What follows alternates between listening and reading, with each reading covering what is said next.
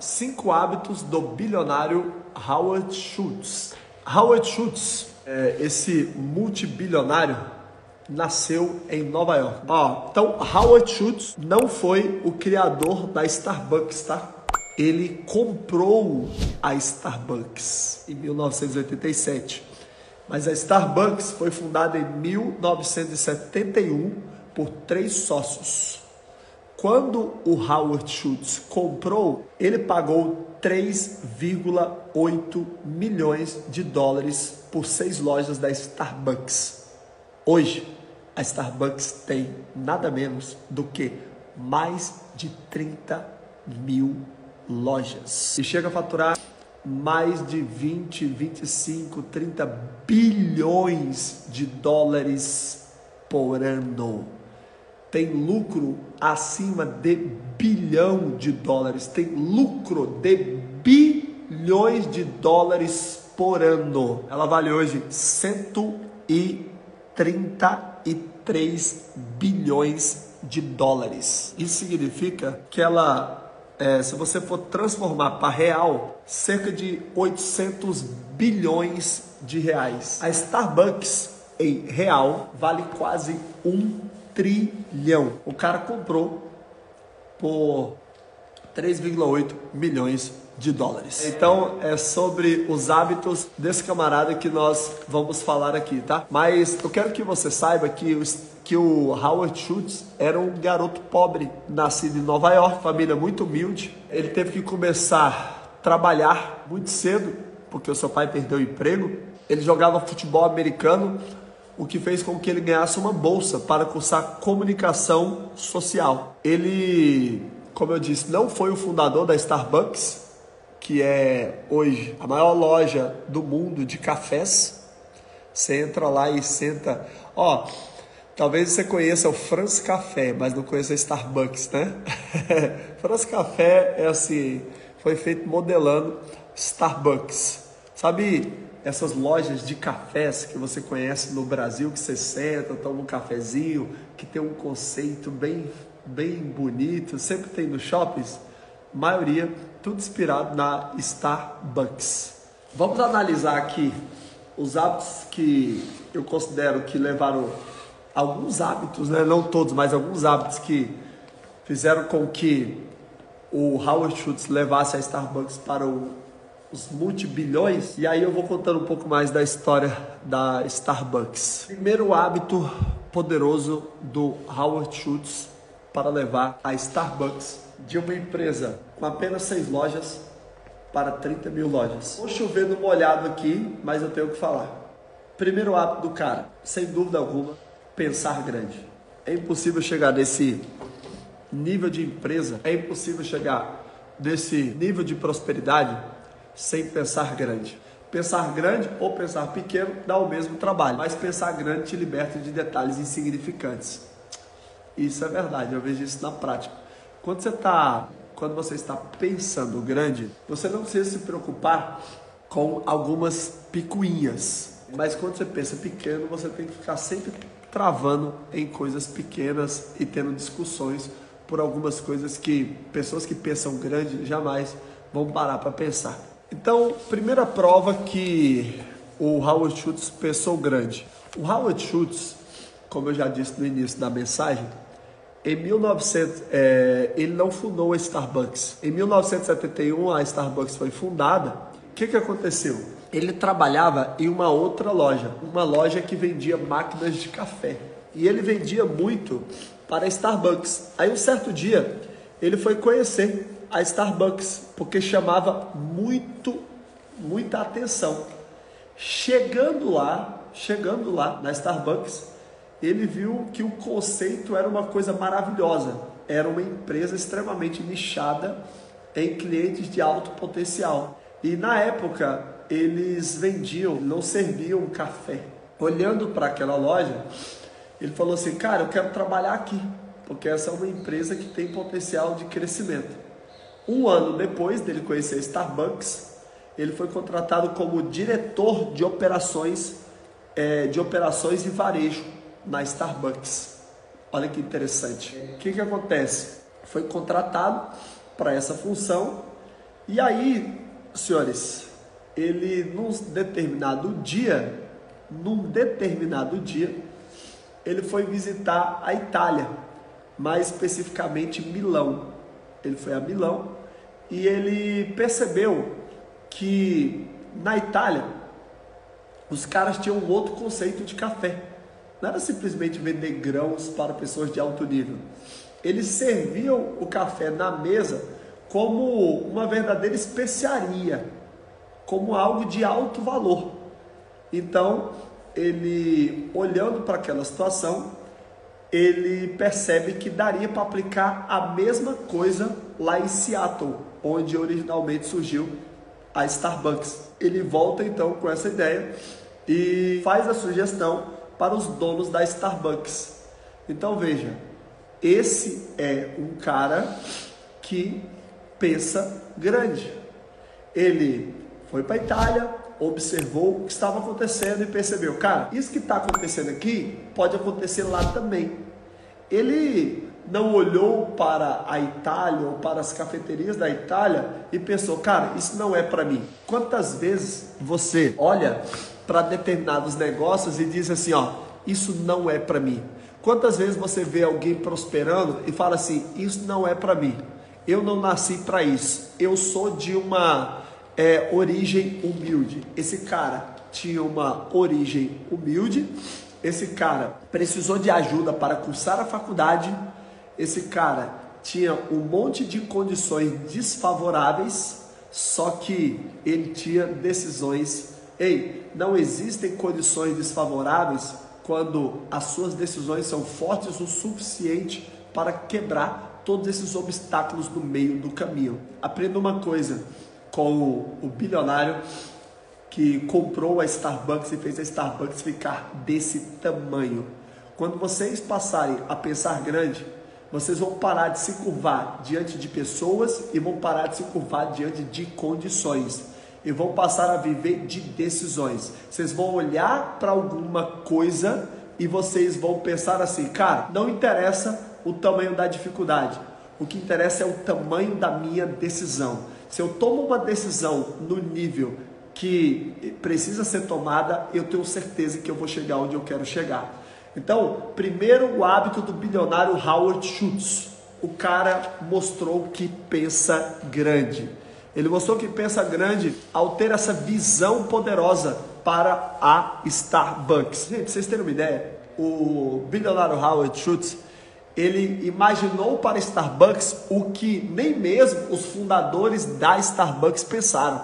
Olha isso. Entenda uma coisa as pessoas mais violentas da história, as pessoas mais poderosas, as pessoas que mais prosperaram, foram pessoas que tiveram uma visão além do alcance. Então deixa eu falar uma coisa para você aqui, ó. Talvez o que você precisa é mudar a sua postura lá na sua empresa, para você deixar de se posicionar como funcionário e se posicionar como dono.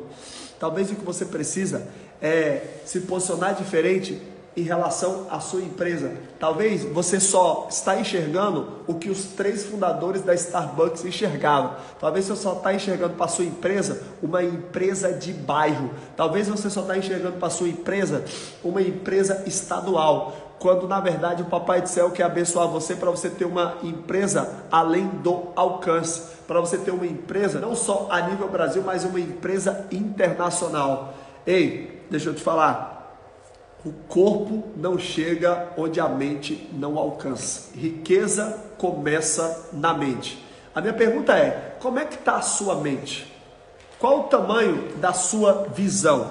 Será que você tem uma visão como a de Howard Schultz? Qual o tamanho da sua visão? Pequena, média ou grande? Eu sei que você vai mudar hoje, mas até hoje estava como? Sabe o que, que acontece, pessoal? Sobre pensar grande Pensar grande faz você tomar decisões mais poderosas, faz você sentar em mesas diferentes. Você pode hoje não ter um centavo na conta, mas se você passar a pensar grande, se conectar com pessoas diferentes e você vai visitar lugares diferentes ainda hoje. Então, gente, é, aproveita para que essa ideia de pensar grande não seja uma coisa vazia e comece hoje a se posicionar. você tem que se posicionar diante da vida. Você não apenas vai pensar grande, você vai se posicionar grande. Hoje você vai parar de falar, é, você vai parar de usar essas coisas no diminutivo para se referir a você. É, eu estou começando, sabe quando você fala assim, eu estou começando uma, uma livezinha, bem devagarzinho, não, não, não, não. Não, não. Quando você fala isso pro seu cérebro, seu cérebro não entende. Ele vai entender você como pequeno. Você ligou? Cara, você pode estar tá fazendo a primeira live, pode ter cinco pessoas lá. Você vai honrar essas cinco pessoas que estão te assistindo e você vai falar que você vai fazer mais uma live poderosa, mais uma live de transformação, mais uma das milhares de lives que você vai fazer que transformarão vidas e transformarão pessoas comuns em pessoas extraordinárias. Você vai parar de se referir ao seu mercado, você vai parar de se referir à sua padaria, você vai parar de se referir ao seu escritório imobiliário, você vai parar de se referir à sua empresa de automóveis como uma empresa comum. Na verdade, é, você vai se posicionar hoje de uma forma grande. Você tem que pensar grande. Sempre que você vê uma pessoa de sucesso, você vai perceber que essa pessoa se refere às coisas dela, sempre ó, imaginando as coisas grandes. Comece a falar das coisas que você quer viver e não das coisas que você quer esquecer. Então, senhores, posicionem-se. Posicionamento. Ei, eu quero você andando hoje com uma postura diferente, eu quero você falando com mais convicção, eu quero você se conectando com pessoas poderosas, sabe? Tenha o hábito de conversar com pessoas que para você seriam, sabe, inalcançáveis. Quando você entende que você é filho, é, já era, não tem como, porque pessoas valem mais do que coisas, e quando você entende isso, as coisas começam a ser atraídas por você as coisas começam a correr atrás de você. Quando você entende o seu valor, as coisas começam a correr atrás de você. Simplesmente você atrai essa parada para você. Entende? Então, o primeiro hábito do bilionário Howard Schultz foi pensar grande. Segundo, ousadia. O segundo hábito, anota aí, do bilionário Howard Schultz foi a ousadia. Sério mesmo, Paulo? Ele era um cara ousado? Ou se não? Gente, Howard Schultz, ele é, foi um cara extremamente corajoso. Porque ele ficou, presta atenção no que aconteceu com Howard Schultz. Ele acabava de chegar da Itália e ele chega até os três donos do, do, do Starbucks e falou o seguinte, e fala o seguinte, ô queridões, vamos, ó, eu vi isso na Itália e eu queria que nós fizéssemos isso aqui no Starbucks. E depois de vender essa ideia para os donos do Starbucks, a Starbucks mudou o seu conceito original e passou a servir café e trazer algumas inovações. Mas isso aconteceu pela ousadia.